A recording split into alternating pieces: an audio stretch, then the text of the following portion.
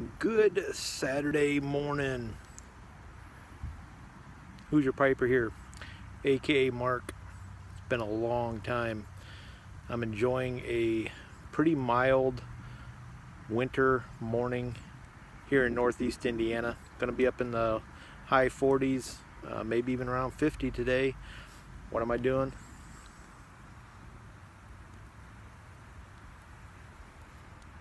Starting to sterilize my equipment for maple sap collection and then maple sap slash syrup production.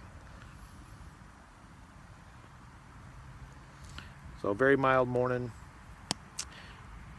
Got a Savinelli here with some Captain Black Royal in it.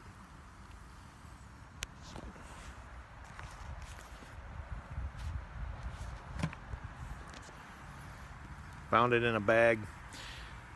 Um, pretty dry, but uh, still pretty good.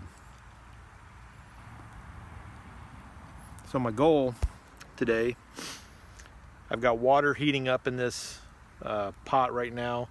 This is a stainless steel pot that I boil the sap down to the point where I can work it inside my kitchen.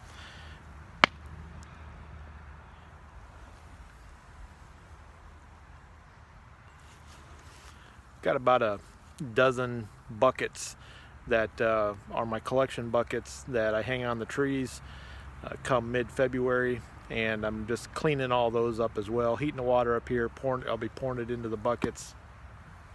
The wind just changed. But then uh, I'll get everything sterilized cleaned up I'll be ready to go. So that's what I'm doing on a Saturday morning haven't uh, posted a video in a long time. Um, nothing really is going on. Doing a lot of work. So, until next time, Hoosier Piper?